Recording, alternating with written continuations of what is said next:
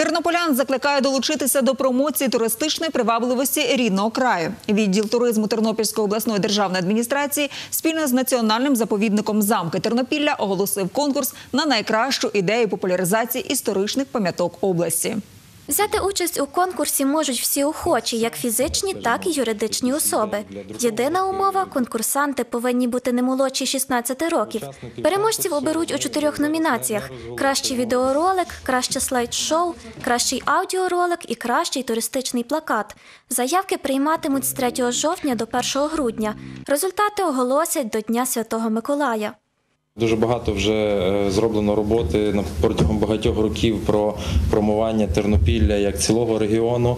От і власне, щоб десь е, і підсилити, і, скажімо, десь е, розбавити, показати також дуже багато різних перлин, окрім великих туристичних об'єктів природних і історичних, які в нас є. Ми хочемо привернути увагу до наших прекрасних малих міст, які також заслуговують на велику увагу, і про які також потрібно розказувати.